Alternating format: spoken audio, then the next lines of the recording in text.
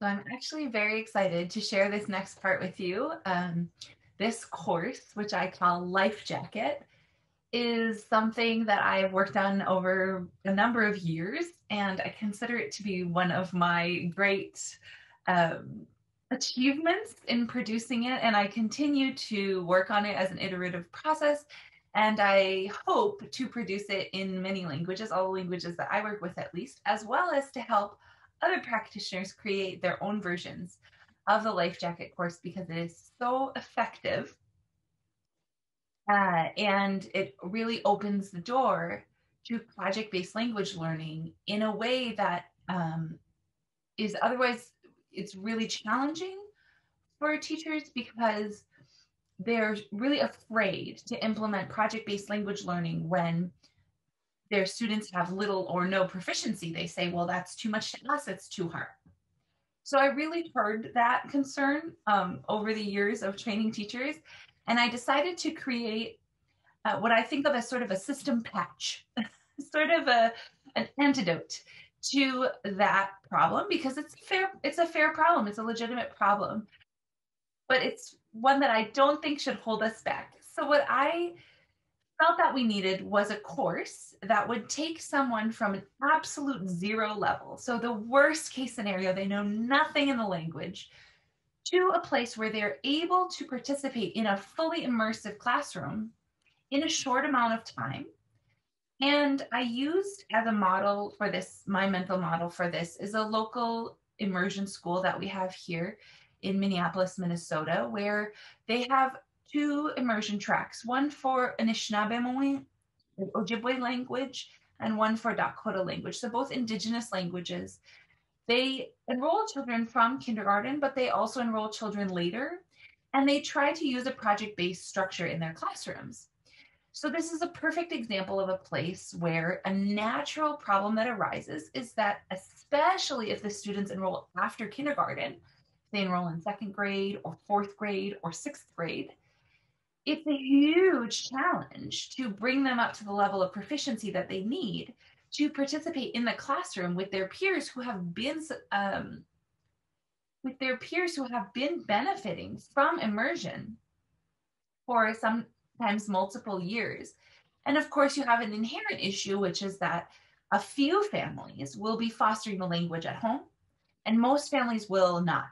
So you're asking children to come into a classroom where there's total immersion.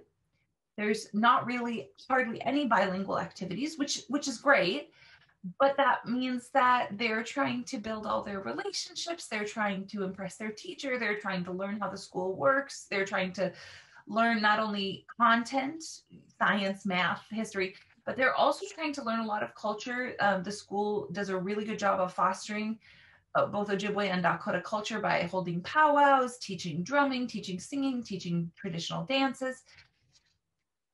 So you're asking the child to access a ton of information and a ton of really important social relationships without any pre-existing language skills. On top of that, with the two languages we're talking about, um, most children are entering with an L1 that is English, American English, it which has absolutely nothing in common with either of those languages. They're not Latin languages, they're not European languages, they don't have even heavy heavy borrowing from English. Essentially, the child is never going to hear a familiar word, almost never. So this is a huge ask. And so it's understandable that teachers immediately feel that immersion will not be possible or that they absolutely must use grammar translation methods for teaching. Otherwise, the students will be lost. And so teachers immediately begin to make contingencies. Well, I can't really do that because first I have to do this. Well, I could do that if my students were like this, but they're not. Totally understandable. However, taking that approach of making contingencies, relying on grammar translation, abandoning immersion, really decreases the effectiveness of what project-based language learning can be and reintroduces some of those highly ineffective colonial methods of language teaching which rely on memorization, which rely on, um, again, one to one translation, which rely on rote exercises that kids don't enjoy.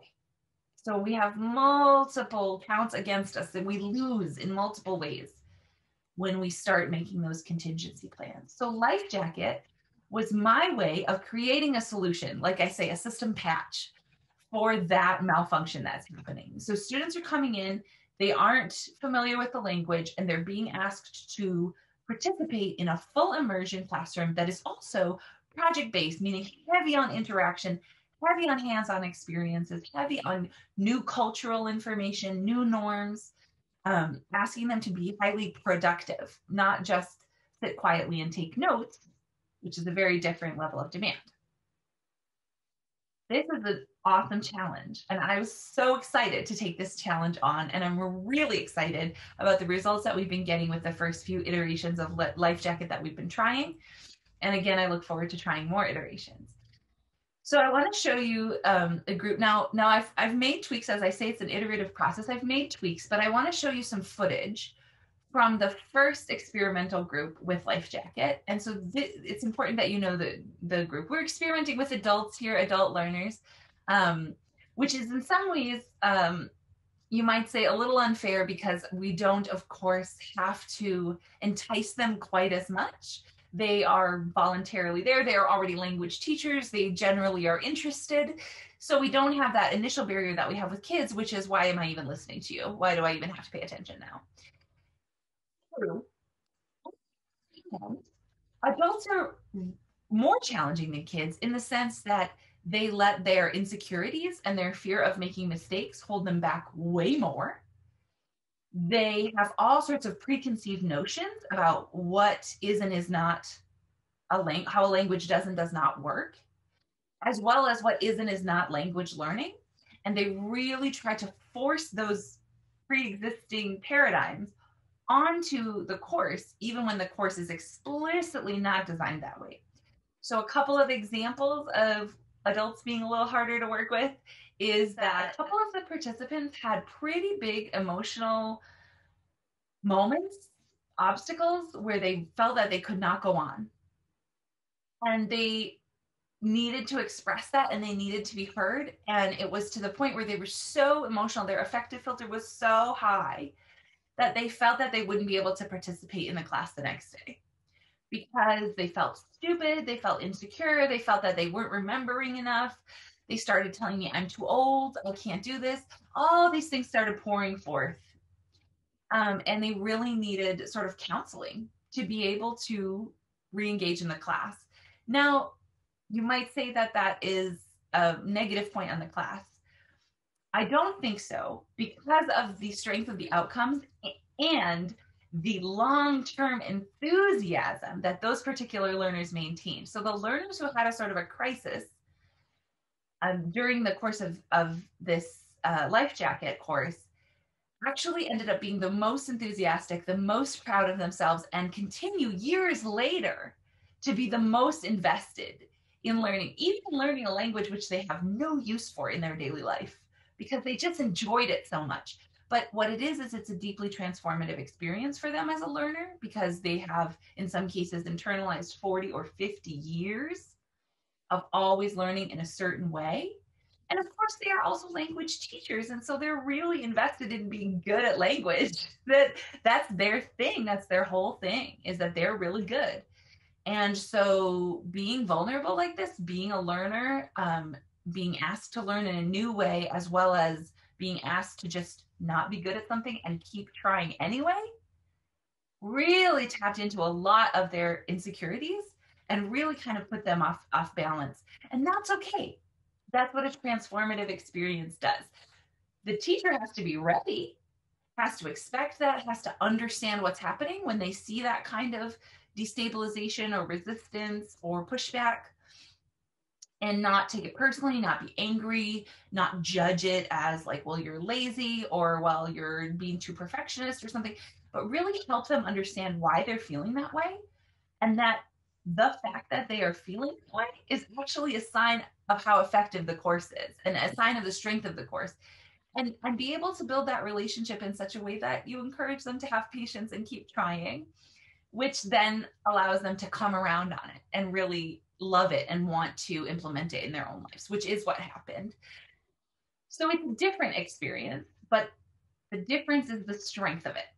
So we don't want to shy away from the difference. We want to embrace that but that's that's something that we generally don't face with kids because kids have fewer years of internalized uh, norms around learning.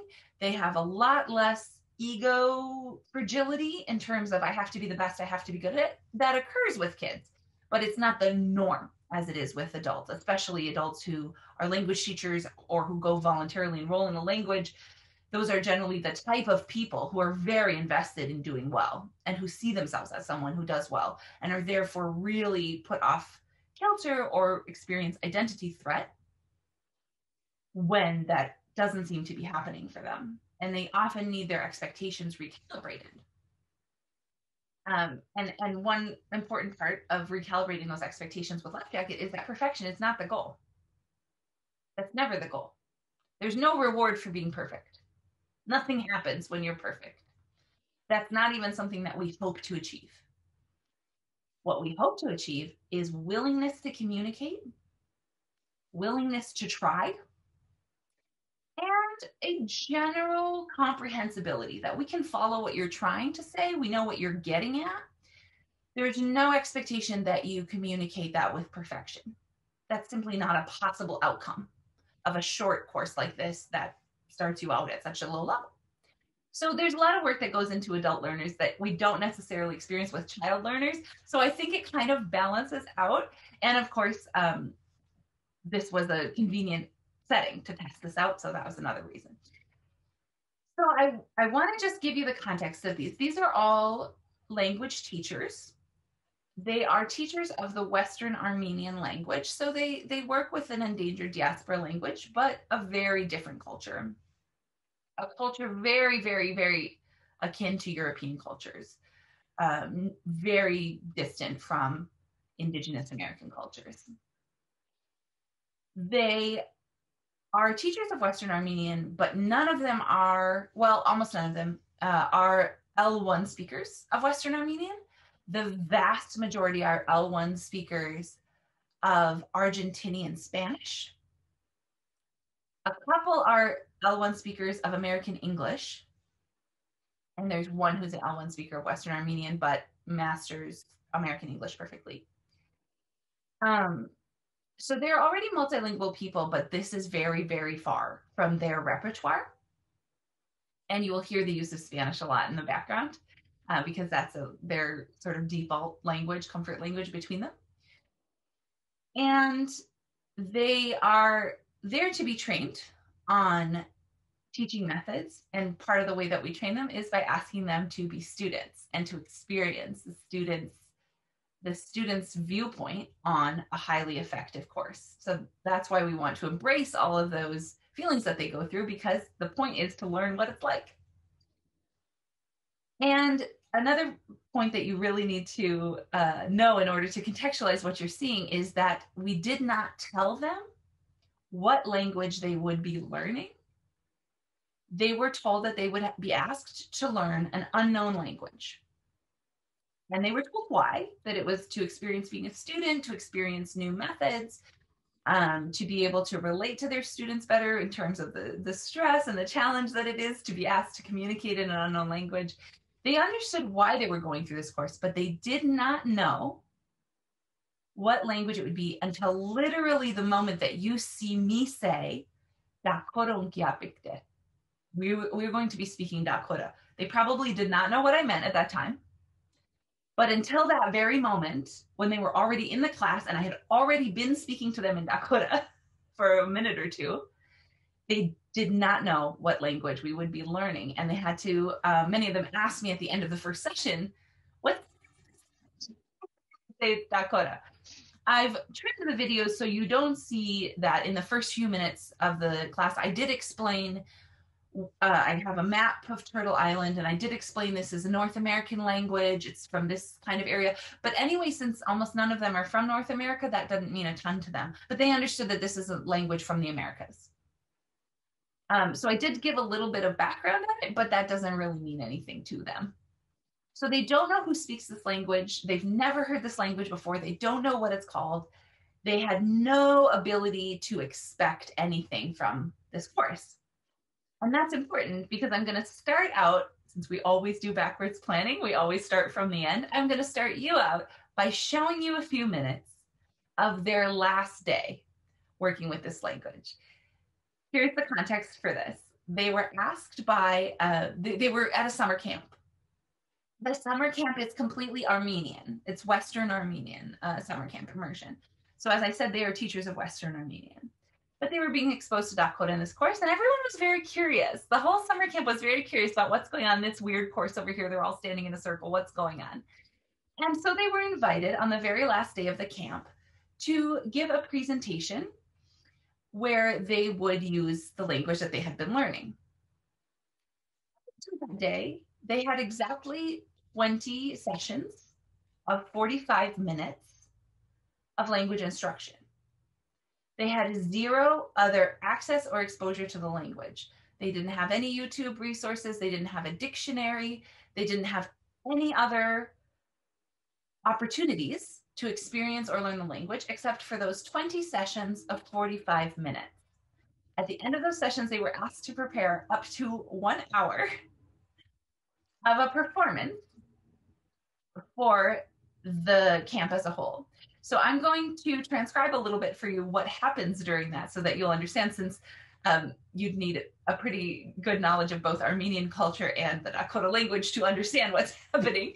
Um, but I want you to just see it, and I ask you to be patient as we just walk through what they did. Um, so they did this essentially on their own. Um, I had actually, I actually had a work conflict I had to travel, so I actually wasn't even there when they prepared and performed this. They were with two of my Dakota colleagues um, Shishoka Duta Joe Bendixson and Wookiewi, uh, Katie Blue Bendixson, who did help them when they had questions, but they hadn't been there the whole time, so they didn't know the curriculum like I did. And from the from them telling it, they only asked them a couple of questions.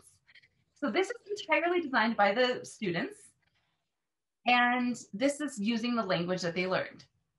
What's important to recognize here is that the scenarios that they that they carry out here creating a song acting out a doctor's appointment doing a rate they're um, acting out as if it's a television program or a radio program um, we did not do any of those scenarios during the 20 lessons so they've taken the language that they've learned from the 20 lessons and repurposed it into absolutely novel scenarios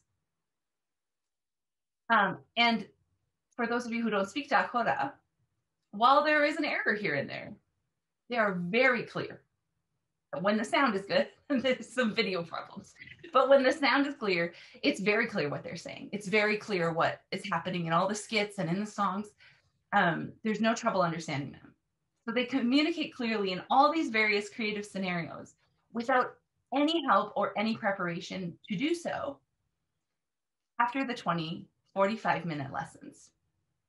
So I just want you to see the outcomes in that context. And then we're going to talk about how we got there, because how we got there is what's really important for what you can use in your classrooms.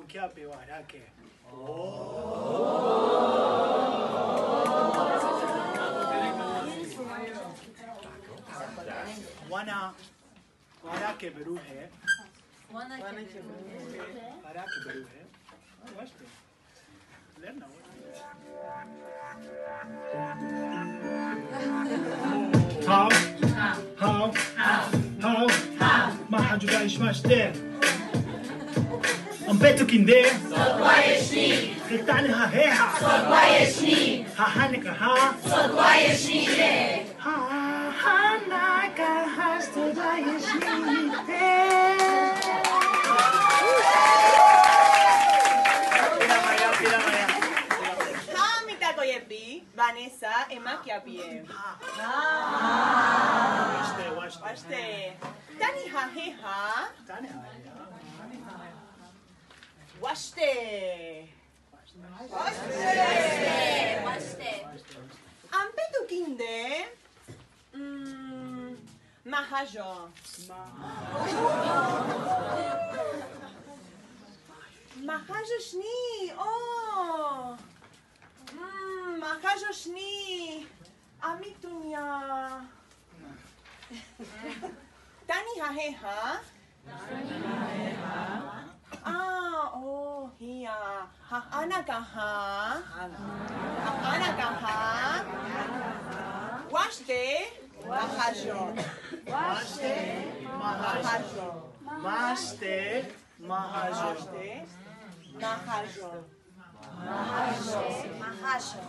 Baște! Baște! Baște! Pidama ya vaie. Naku. Pidama ya.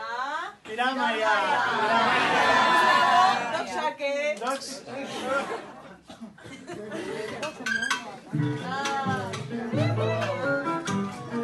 Բաժի նումբա 3 4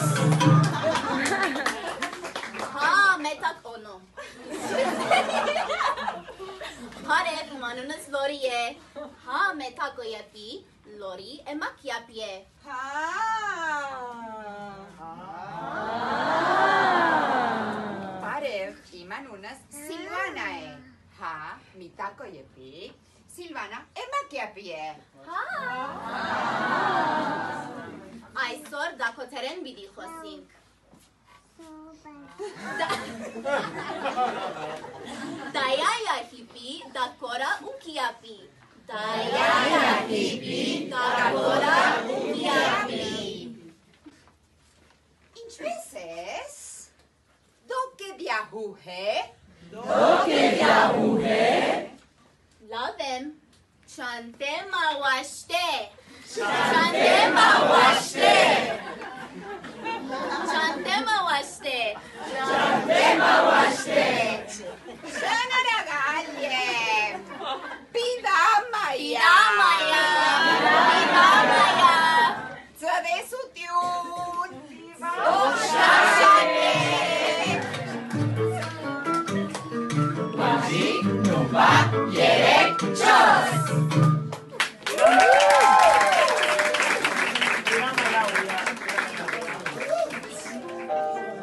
Washte mana silcho.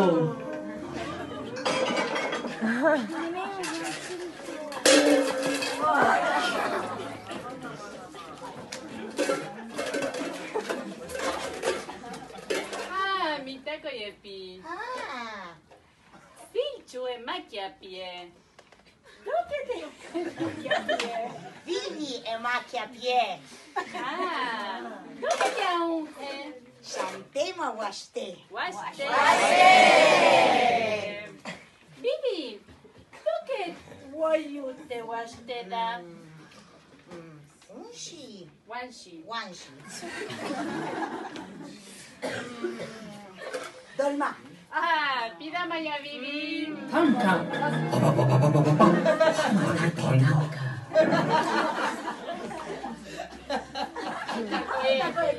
あーハンカシちゃんて回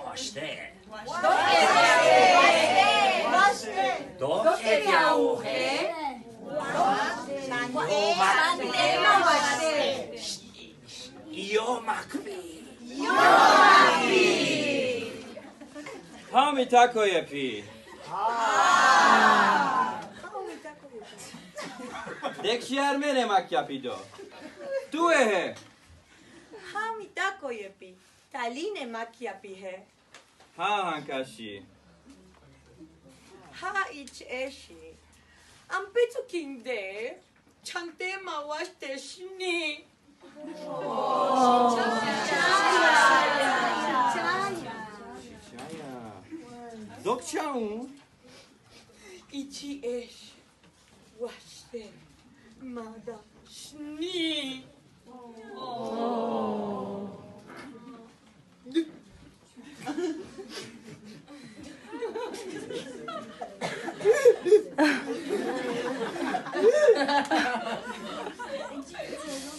Chichaya. Chichaya. Talin. Ik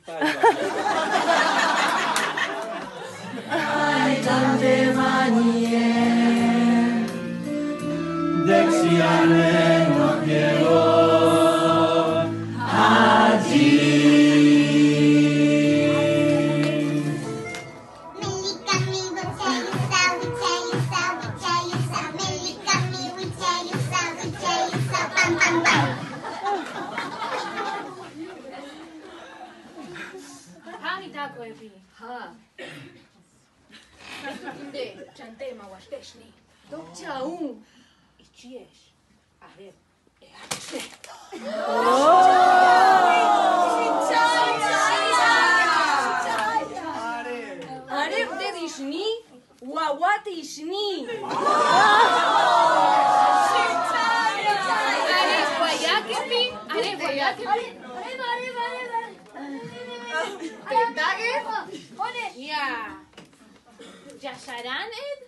is het? Here, here.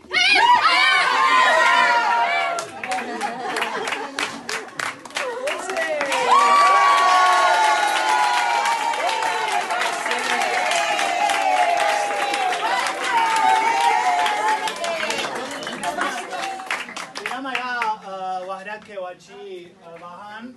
Uh, bahan au ke ki. Sakota tien. Pirama ya.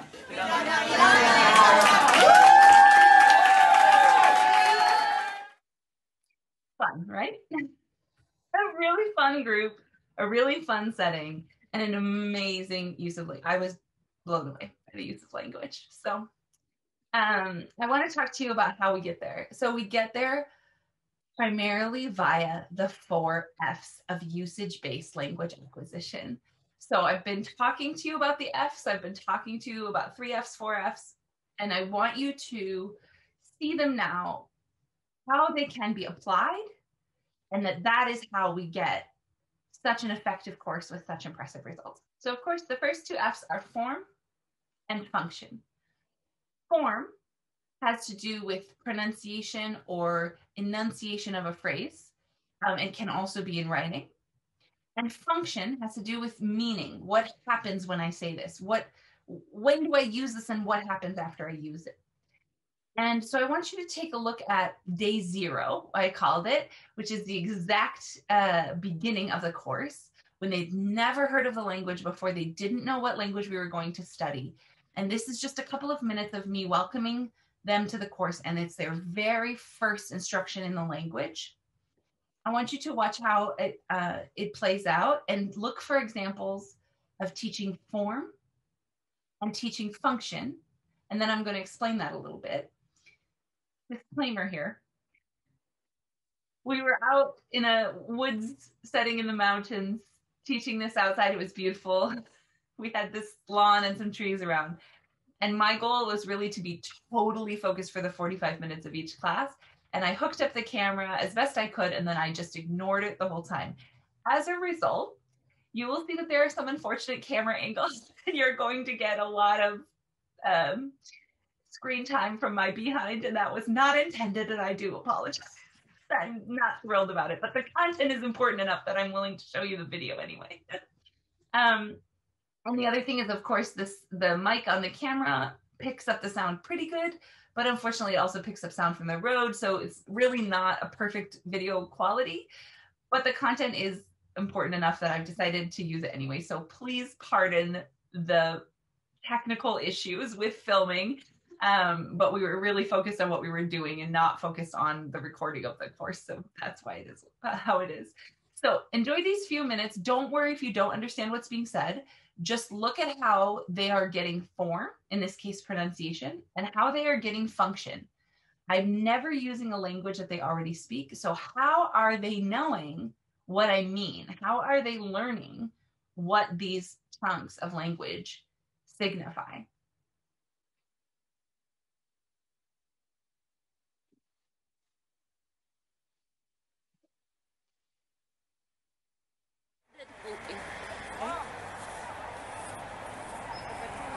Chapachuita. Oh, pare, chapachuita.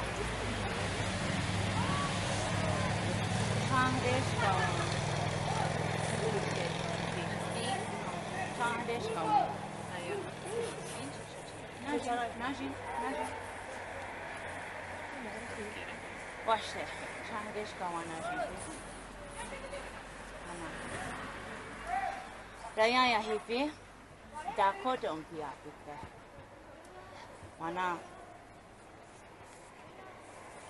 Hami tako yepi.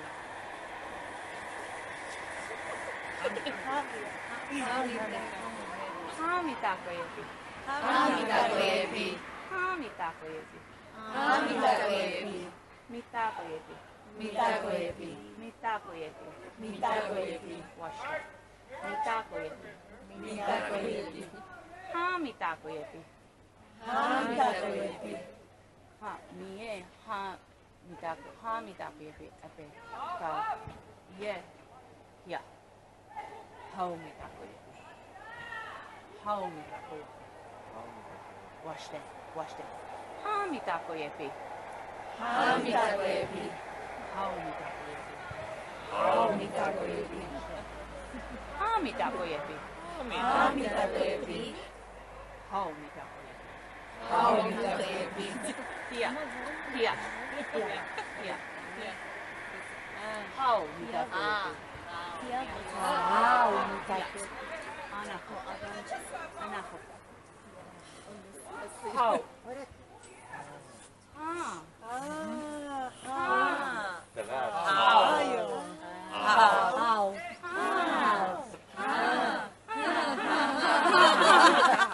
Ah, Ah. How. How. Hey, watch it. Hey, watch it. Ah, vivi hi.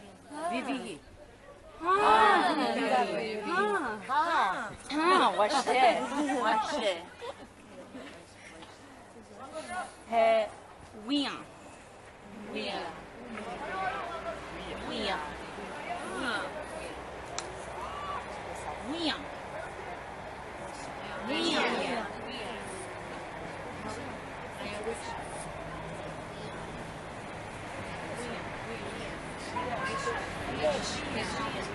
เหวี่ยงเหวี่ยงเหวี่ยง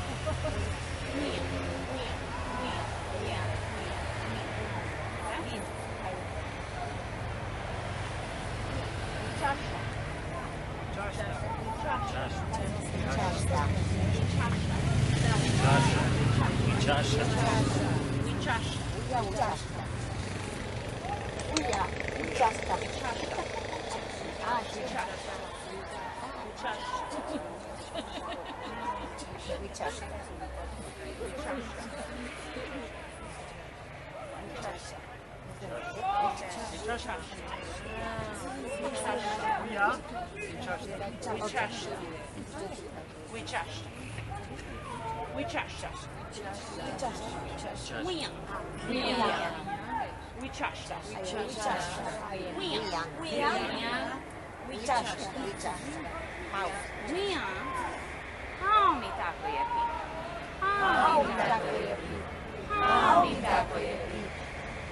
We trust. How mi tako yepi? We trust. How mi tako yepi? Wana. We We trust. How mi tako yepi? How mi tako yepi? How mi tako yepi? How mi tako yepi? We How mi tako yepi? How mi tako yepi. How mi tako yepi? How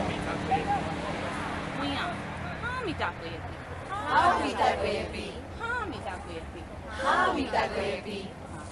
We are ho shni. Shni. Ho. Shni. Ya. Ho. Are. Huh. Huh. Huh. Watch that. Watch that. Uh. Wanna hear me? Hear me. Anka and Makia here. Anka and Makia here. I want you to notice that the very first thing that happened in that clip is that as the students started arriving to the area where I was holding the course, they started saying a phrase in Dakota. You may not have recognized it as such, but they started saying a phrase in Dakota. They were saying, Chapa Chuita, Chapa Chuita. And this is because before we had begun the course, I had introduced them. You can't see it because of the unfortunate camera angle, but I had introduced them to a little stuffed beaver that I had bought in a local tourist souvenir shop. And he had a, a winter cap on and a little scarf like he's cold. So I had named him Chapa Beaver Chuita, who is cold. And it's quite catchy, right? So they had um, seen him on my desk and they had said, Oh, look at Chapa Beaver. What's his name? I said, His name is Chapa Chuita. They'd never heard Dakota or heard of Dakota before. But I said, That's his name. And they remembered that. And so the first thing that happens is as they're approaching the area, they start see they see him and they start saying Chapachuita, Chapachuita. So in this way, I've already preloaded a relatively easy to pronounce chunk of Dakota language that has a meaning. In this case, I'm using it as a name, but it has a meaning that they're going to come back to as they learn about animals and as they learn about being warm, being cold, being tired, etc. And it's not important to explain the name right now. It's important that they practice saying it. So they're already practicing a form, Chapachuita. And then you notice that the whole class is oral. There's many reasons why I insist that they stand and that they stand in a circle. There's many reasons for it. But one of the reasons is that we are not going to be writing anything down. I'm going to be pronouncing, you're going to be listening, and then you're going to be pronouncing. And in order to do that, we need to be facing each other. We need to be close enough together. And I'm specifically making them stand to prevent them from pulling out a notebook and pen because we're not going to water down the learning of the form with writing at this stage. It is too early. When they have a lot, a lot of language and they recognize how things are pronounced, they will then just like they did in their first language, their second language, their third language, learn how to transfer that form that they know into a written form, which loses some exactitude. And, and we will do that. But in the beginning, they need to learn a language the way it's naturally learned, which is through oral input. When I allow students to write anytime within the 20 sessions, uh, the the first 20 sessions of Lifejacket, their pronunciation immediately becomes incorrect. Because they transcribe what they think they hear and then they leave the classroom and then they look at the transcription and because they have been so programmed in the colonial schooling model where the written word is is the ultimate authority and they've been so trained to trust their brain on what they read they trust their own transcription. And what they do is they then use the previous knowledge they have about alphabets to interpret what they have written. And they come back and they start saying things to me like instead of Champa chapachuita, they'd say chapachuta. Well, there are some writing systems in which that is how you would read that transcription but that is not how it's pronounced. And I do not understand you when you say Che Pachuita. I do not understand that. You've lost a lot of meaning. You it becomes useless. And so I find that allowing them to transcribe things before they understand how to do so in this language with this point of reference ruins my work. And one of the great victories of Life Jacket is that their pronunciation is so good at the end that they are very, very clear when they speak, even though they are going to, of course, make grammatical errors and not know a lot of words because we've only had 20 sessions. But when they speak, it's going to be clear. And so I confine them to oral input and to oral guided repetition. And in order to make that stick, of course, it's challenging. It's challenging to hear a bunch of new sounds and have to produce it and not have uh, that scaffold or that crutch of writing. So, in order to make that stick, I very carefully begin a norm, a classroom norm from the very first day that we repeat things uh, a minimum of four times, usually many more times, but I establish that norm that we will be repeating everything. And I also do a key thing, which is that when I give them a long word or a long chunk, I repeat it with emphasis on the end because this is very true for me. It's true for many learners. and it's true in most languages because languages program our brain, we pay the most attention to the first syllable, to the onset. So we will remember that the word for beaver starts with a ch, but we will forget that it's chapa. Not everyone is like that, but that is the dominant way that people will remember partial information. And so, and so we help that and we help proper pronunciation and proper stress, which is important in all languages, but also it, stress has meaning. It changes the meaning in Dakota, so it's extra important in Dakota. We help that by giving them extra input on the end because they're more likely to retain the beginning, but they're more likely to struggle with the end.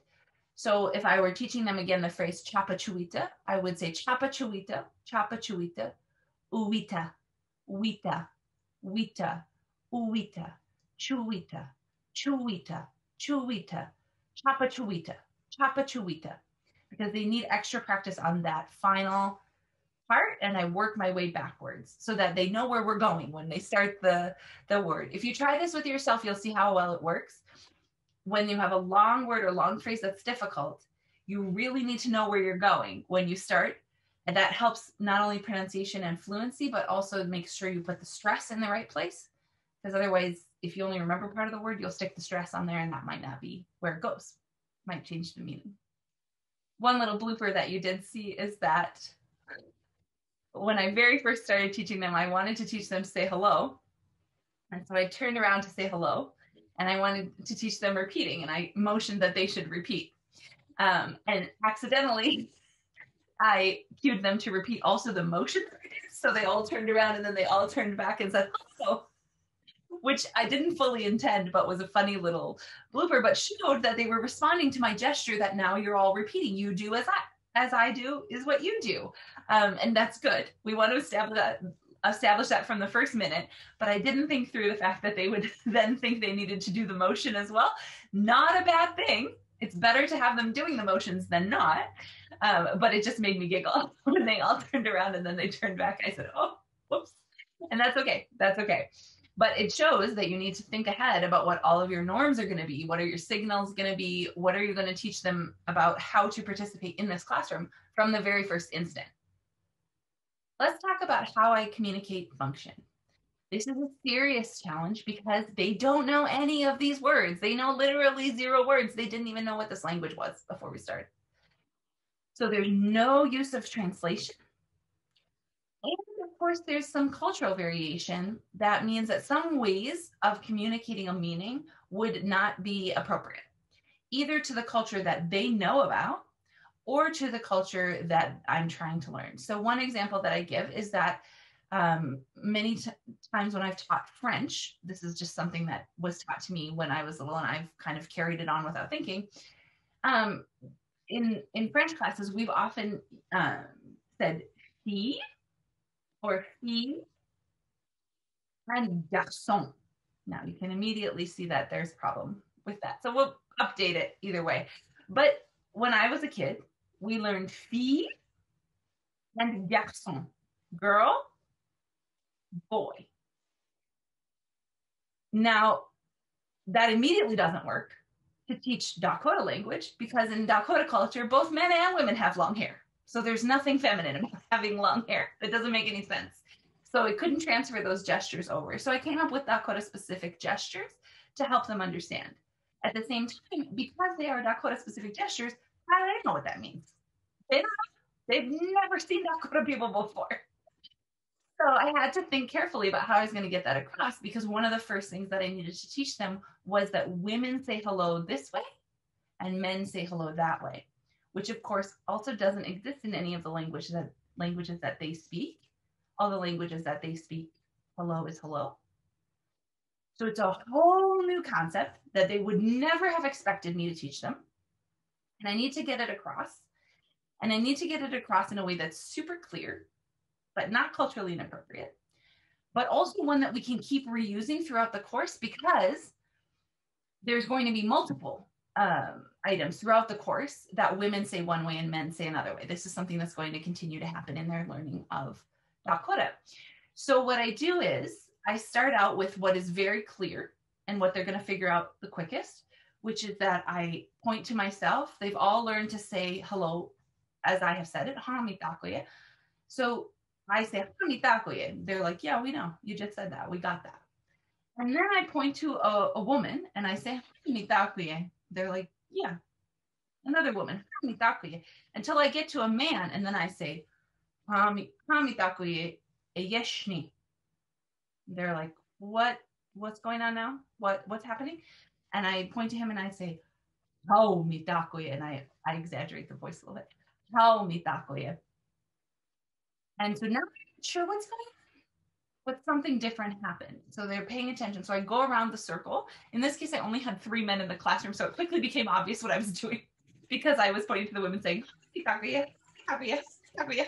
They were like, "We get it, we get it. It's women, we get it." Um, but I use the people that they know to help them clearly see that function. And then I translated that into something that we would be able to use as a shorthand, as a gesture, as a as a cue throughout the rest of the course for the differences between men and women, which is that I taught them these motions.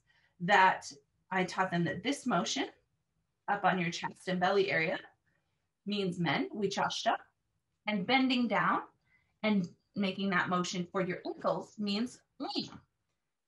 Now this of course doesn't mean anything to them. Why are we why are we doing this? What is this? So I immediately produced a a card with a with a picture printed on it of a woman wearing a ribbon skirt. The woman is wearing a, a ribbon skirt, and you clearly see that there are ribbons toward her ankle. And I make the motion again. So now they're putting together, oh, we're doing that motion because that's how Dakota women look, and that's that means women. And then I show them a picture of a Dakota man with a breastplate, and they see that, oh, that's why we're doing that motion. So they've seen the photo, and then we translate the photo into the gesture. And then we attach it back to the thing that we understand, which is a, a woman saying hello in the women's way and me making the women's motion. A man saying hello in the man's way and me making the man's motion. So there's a function here that they don't actually even have a word for in the languages that they know. It's not something that they would have expected to learn. It's not how they understand languages to work. But I've already taught it because I've done clear examples from a context that they understand. And then I've shown them a picture that helps them understand why I've customized this to the culture. And then they have a gesture that becomes a shorthand. And they continue throughout the 20 lessons to use this when they want to refer to men and to use the ankle ribbons when they want to refer to women. This is something that we can all use. Now, of course, when I'm teaching online, I have to go a different direction because I can't bend over. I don't have that good of visibility. So I tended to use earrings. Same process, earrings for for women, although men also wear earrings, but women are quite known in the Dakota community for wearing lots of fancy earrings. Um, so so we adjust to what will work in the classroom, but each time taking all of those things into consideration. So this is one way that function was communicated without ever using translation. Another way that function was communicated was by making it so obvious from the situation. So we all understand the context, we all understand the situation, and then teaching the language right at that moment. So an example was I'm teaching hello, but they're not, they don't have anything to compare it to. So they think it means hello, but they're not quite sure. And what happened was someone, Vivi, she stepped out of the circle and she came back in. And so I took advantage of that to say, hello, and greet her. So they immediately go, oh, this is a greeting. Okay, so now they're sure, right? Because there's a lot of times ambiguity about the function if there's nothing to contrast it with to make sure that that's exactly what you mean. So using an obvious context like that really helps. And if I don't have that naturally occur, then I will create it. I'll create a shared context where they know that that's obviously what's going on. So another example is that I have the picture cards on the ground in the middle of the circle and I'm pointing at them with my pointing stick because pointing is taboo in Dakota culture, so I'm avoiding that. Um, I'm pointing at them and I'm looking, I'm looking, and they immediately understand. Oh, Anka is looking for something. Anka is looking for a certain one, and when I say one that they know, they immediately respond by saying, "It's right here, it's right here, it's right. Right? So everybody understood what happened, and that's my time to teach. Where is it? Um, because it's obvious from the context what I'm about to say. But I had to manufacture that. I had to pick the pictures. I had to teach them the words. I had to print the pictures out. I had to glue them to the cards. I had to lay them in the middle of the circle. I had to make the motion. I had to show them that this is for pointing. So I had to build all of that up. So this is a lot of the plan that goes in to make sure that the function is going to be obvious when I introduce it. And yes, you could wonder a little bit, but after a few more tries, they're going to pin down, oh, that that's asking, where is it? Um, and we do, and we do multiple rounds like that. Another way to create function clarity is by using known items. So the first example was chapachuita.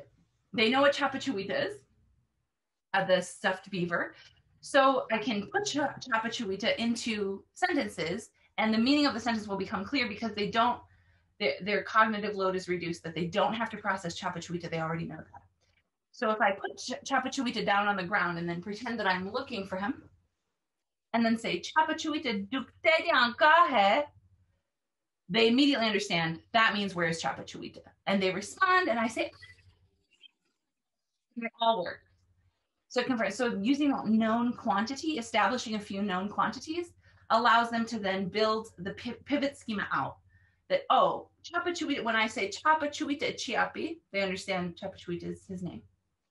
But when I throw him on the ground and I pretend I can't find him, and I say Chapachuita Duktedi they know Duktedi means where is. And so that allows me to introduce that function. I did that a lot. I create. I also had a stuffed spider and a picture of a spider, and uh, that's called unktomi, culturally very important. So I use that, and they know after a couple of repetitions that this is unktomi. So as soon as I say dukteri they understand that that's unktomi plus where is it. So creating enough shared uh, established items that they don't have to study, they don't need flashcards or anything. I, they've just experienced enough times that it becomes a known quantity and it's so it's deleted from what they have to calculate. It's, it becomes a given. And then again, I manufacture those contexts where using that known quantity, the function will become obvious. So this is really a, a, function of design and preparation. There's massive, massive, massive preparation that goes into this to choose what will what what they will experience and then create those experiences in a very carefully sequenced and scaffolded way, which we'll talk about next.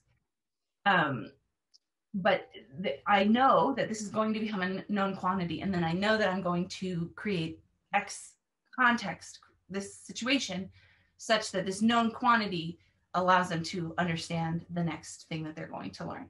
So that's uh, some of the ways that we create function, even though they've never heard nor heard of this language before, they understand what's happening throughout the first 45 minutes of total immersion.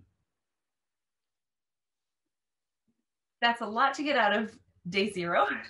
Let's look at day one so they now they understand that we're going to be learning Dakota language. So now it's our first day of uh, learning some things in Dakota, and they're ready to ask some questions and, and expect what they might need to learn.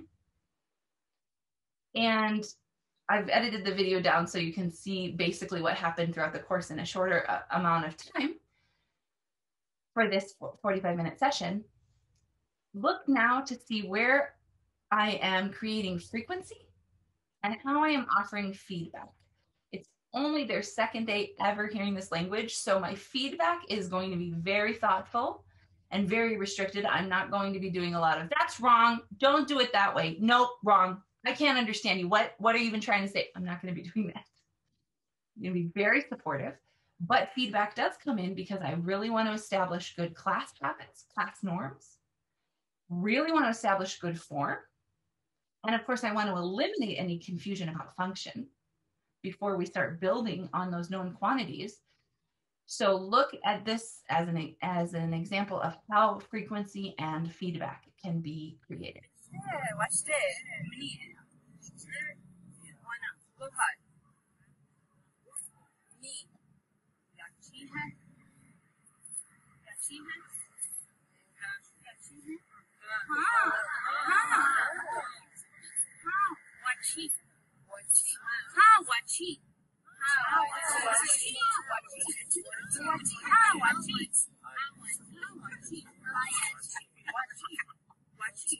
七我七我七我七雅青哈，雅青哈，雅青哈，你雅青哈，你啊，你雅青雅青你雅青啊，我七啊，我七。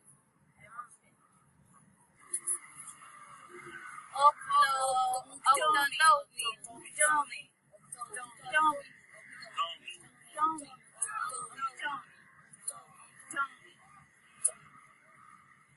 Me, don't me, I cheat him. Don't me, don't me, I cheat. Yeah,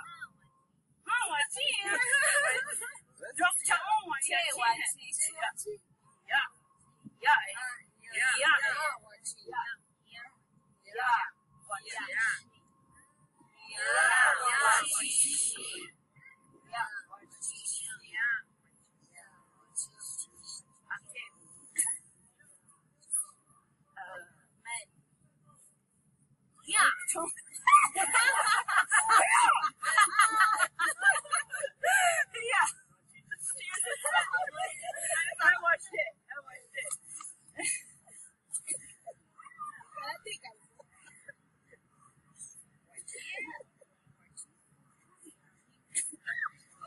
说你来去。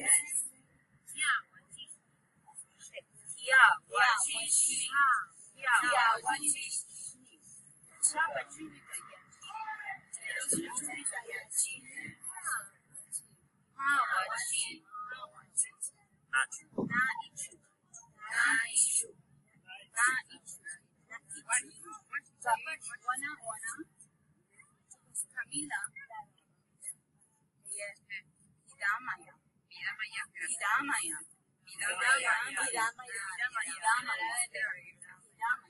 watch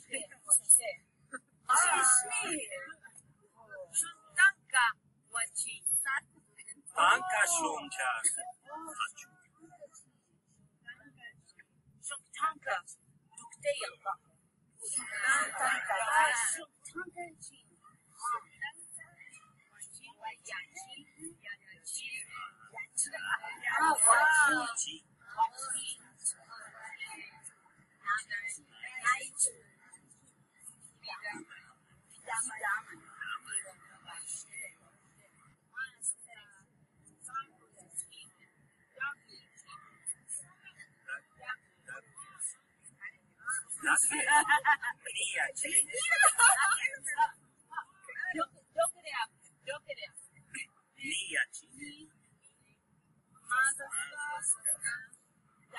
teacher, Tommy, Tommy, TV, TV, Chata, Chata, Chata,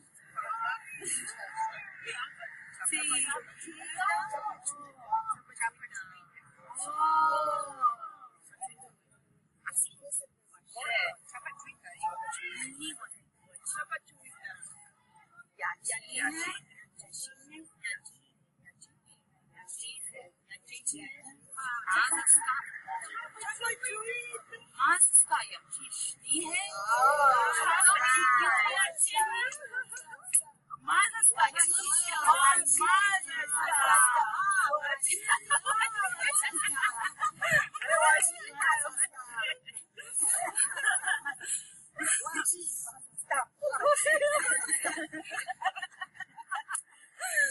وانا وانا ما تسكى ستوريا يا بي ستوريا يا بي مستنيا ستوريا يا بي ما تسكى هنينا تانكا هنينا تانكا دابوريا دوغري يا بي اه واسنا ستوريا يا بي ها ما تسكى هاي واشتي عبيتو كيندي نينا واشتي دابوريا henana henana henana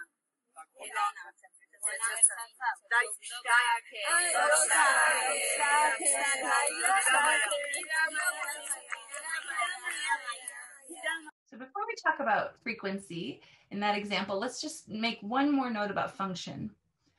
Another way that you see me creating clarity around the function is that now we're doing interactions. Do you want this? Yes, I want that. Here you go. Thank you. And so, of course, acting them out, which is a little hard to see because limited camera angle, but actually physically acting them out, as well as using facial expressions that, based on their known cultural references, make sense to them. So, looking at something and then saying, huh? question face, and then them saying, anything, here you go, or them saying no, and me saying, oh, right? These are familiar and it helps it helps them pin down the function. So you heard a burst of laughter when someone went a little too a little too enthusiastic on the no, which they had learned yes and no. So they said he, which is also funny because they sort of jumped back. And of course, Kia is also known as a word in karate. So we made a little joke about that. But they say, and then of course we all laugh like, wow, you're really showing me that no. I'm really feeling that no real strongly right now. um, but the but establishing that norm that we're going to act this out and we're going to make facial expressions that help us understand what's going on is a way of making the function clear and they learn sort of key facial expressions that I purposefully make and I am consistent with, like mm, and mm, um, and or um, I make sure to be consistent with those type of expressions so that that helps to establish the function of this new phrase that I'm introducing, which is.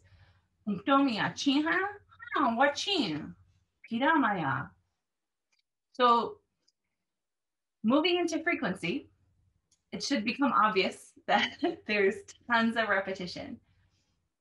Will the repetition be boring? Will they complain? This is always the question that I get, the hesitation that I get. And the answer is yeah, and so what? You have to push them. We're trying to do something remarkable here. We're trying to be incredibly effective. We can't be incredibly effective if we don't make ourselves uncomfortable. Can't be incredibly effective by sticking to what we know because what we know doesn't work. So, yes, there will be tons of repetition. Yes, they will complain about it. And yes, you're going to insist. The way that I do that, of course, I don't have as many complaints in the beginning, is that I establish from the very first day that every chunk that is introduced is going to be repeated. And on the second day, I start to show them that it's going to be repeated four to five times. That's going to be my norm. As I get older uh, or as I get more advanced, I establish the four times as my norm and I will help them to be patient with it by going when they're repeating because I know they get sick of it. I know they get sick of it. And it's really important that the repeating not be my repeating. It's really important that it be choral repeating, that they actually try to say it. Because too often in language classes, the instructor introduces a new chunk and one or two students sort of make a half-hearted attempt to pronounce it. They may or may not nail it, and then the teacher just repeats it. What's being learned there is maybe, maybe, but definitely not production. Production requires production. You have to actually move your muscles. And so that means establishing a class norm that it is not class participation to sit back and say, Nope. Everyone in the class is moving their mouth and we're saying it. Now we're doing it together. So if you're stumbling, if it's hard, that's okay. We're not going to hear it. You're going to hear your neighbors. It's going to help you. So it's okay to hold back a little bit and listen. That is important. That's extra chances for input. So you're getting input frequency as well as production frequency at the same time because of that norm of choral repetition it's really the only thing that I crack the whip about. It has to happen. And of course, it happens less frequently as students become capable of stringing long sentences together because we do more just talking. But I remind them of that norm every time a new chunk or a new type of language is introduced, and I do my countdown that we're going to be repeating it four times. You can pick another number. I think three is absolutely minimal. I would go more again, it's a chance to hear it multiple times as well as it's a chance to repeat it multiple times. So it's really important, even though people feel like a dork. It's okay to feel like a dork because I have removed a bunch of other things that would make you feel bad in this course. For example, there's not going to be a multiple choice exam. You're not going to get a D minus in this course. It is designed so that that doesn't happen. You're not going to be put on the spot asked to memorize a poem or get up there and recite a dialogue or something. I'm not going to do any of that to you. That would have usually caused some anxiety and humiliation.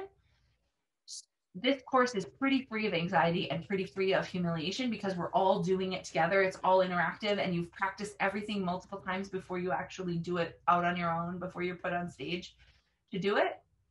And so, in exchange for that, the choral repetition has to happen there's a big challenge on Zoom that you cannot hear people when they're talking, uh, multiple people at a time. And so on Zoom, I do have to create the norm that we will be doing four repetitions, but I will be silent during three so that I can hear the maximum of people. So I usually make the motion with my mouth. So I say things like chapa chuita, chapa chuita. Watch that because they need that both that input and that production practice. But if I talk, I can't hear them. so it's a challenge teaching online. So you see that that's become a norm and that, that they're that they already understand on day two that that's going to happen, and I'm going to continue to reinforce that. The other way that I create frequency is by very, very carefully planning the pivot schema. So we're going to dig deeper into pivot schema. But I'm planning phrases, essentially, an easy way of saying this is that I'm planning phrases that reuse a lot of chunks or reuse the same words. I very intentionally planned the course to reuse lots of known quantities each day so that there's only a few chunks that are new, that they make sense, that it's easy to figure out what they are, and then that those reoccur many times. So again, spiraling information through the course, that is happening with pivot schema. So things like I teach them unktomi, spider, and then I teach them unktomi yachihe, and then I teach them unktomi dukteryankahe, and then I teach them unktomi washtehe, hiya unktomi washteshni. So they're very easily able to figure out what's going around unktomi. And that's how new phrases are also built by using those known quantities, which means that I very carefully sequence the course with phrases that have lots in common so that there's only so much that's new each day. And the function of a chunk of what I'm teaching is always already clear to them so that I have less to clarify each day. This is how I eliminate the need for translation, but it's also how I provide lots and lots and lots of frequency. So if on day two we do unktomiya chiha, do you want the spider? And they mispronounce it or they struggle with the, the form of that, that's fine. We're going to be working with yachihe for about six more days. So if they don't get it on day two, they're definitely going to get it on day five. And one example is that that's a nasal sound. It's hard to pick up on the video as well.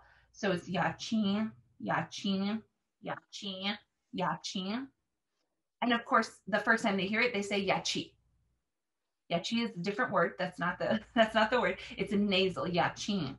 So it's important. But they I know they won't pick it up right away. So I create frequency by mixing it back into what we cover each day, using it in pivot schema, that it will keep coming up and then we'll eventually start to pick up on, oh, it's yachin. Oh. Um, and they do. And by the time they left, they were pronouncing it, the vast majority of them were pronouncing it correctly the vast majority of the time without my ever doing an analysis of, oh, Dakota has nasalized sounds and here's how you transcribe them. And they just start to hear it. Yachin, yachin. Oh, okay. I was saying yachi. Oh, yachin. Oh, okay. Because there has been that frequency and that it has come up in multiple co- constructions, it has come up in multiple chunks because I've carefully used pivot schema. And finally, let's talk about the fourth F, feedback. How are they getting feedback? So you see me establishing norms here that are going to carry through the entire course, although there will be some new forms of feedback introduced toward the end when they're becoming quite proficient in holding conversations. The feedback that they're getting now is all group. No one is being put on the spot. It's all group. Some of it is immediate and some of it is delayed. And of course, it's all oral because there's no writing being done. Um, and so a lot of what they're getting is in the is in the frequency and the repetition. I'm pointing out something. So I'm saying, they repeat, and then I say, chan, chan, chan, ya chan, ya chan, ya chan, ya chan that's a form of feedback that hey i'm hearing something. It's not quite it's this pay attention.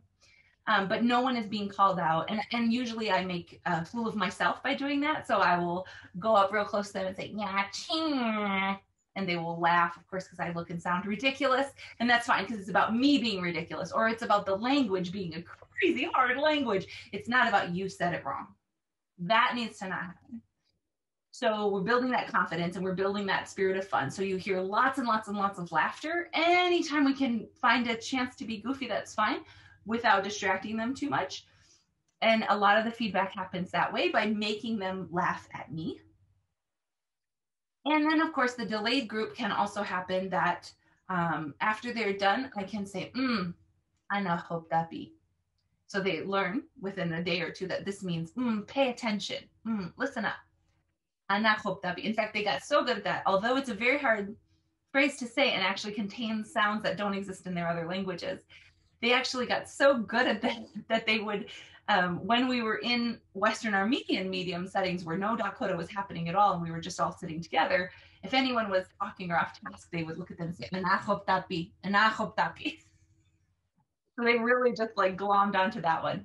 But so I, I when I, I finish an exercise with them, I will say, hmm, Anahoptapi. So now they know, oh, a correction is coming, but no one is being pointed out. And again, the focus is on me. And often I will go over to someone after I've given the example, I will go over to someone who's doing it right and I will ask them to do it. So the feedback to them is. And I say, oh, it's really good. And I'll do a few of those before I start to ask the folks who are struggling more. So they've had lots of chances for frequency, lots of chances for input before they're asked to make the correction themselves. So an example of that is um, saying, Ana hoptapi, yachin? Yeah. Unktomi yachin ha? Ewashte. Unktomi? Here. Unktomi yachin ha? Ewashte. So this is again something they did not expect me to teach them. They were not wondering about this. There's no translation for this really, but they are speakers of Western Armenian, American English, and Argentinian Spanish. Argentinian Spanish, if you've ever heard, is extremely expressive. They're a very expressive group, and they use lots of those up and downs in their intonation. And of course, one thing that's common across all the languages that they know is that questions go up at the end. So it's very easy to create a habit in the classroom that, that we learn that questions go up at the end. The problem is that in Dakota and in Dakota culture, questions don't go up at the end. All sentences go down at the end. Very confusing, very challenging. So I do an exaggerated version of that and point out that this is wrong and that this is right. And I do it a few times to just allow them to just wrap their head around the idea that you're telling me that it's wrong to go up at the end of questions, but that's totally normal. That's true in every language that I know. And I'm saying, right, but in Dakota, Dakoria, Hachatushi, Dakoria, Unktomiya Chiha.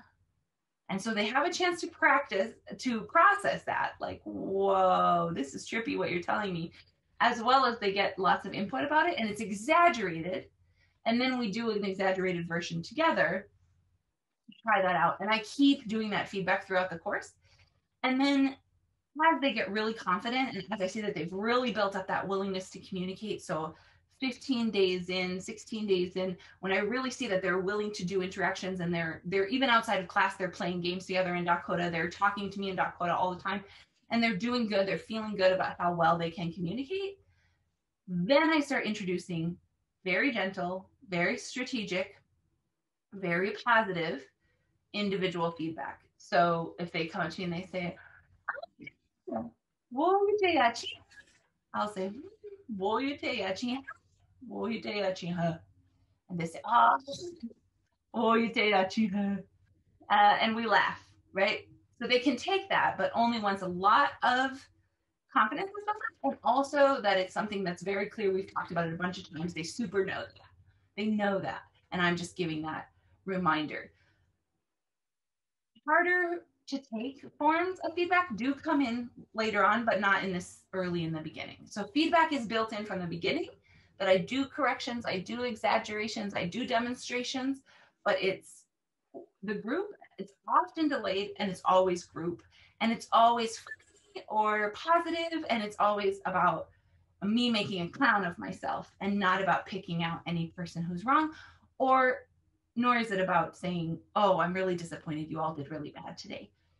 The key to getting them to continue in the language is that confidence. So the feedback is very much designed to support that confidence.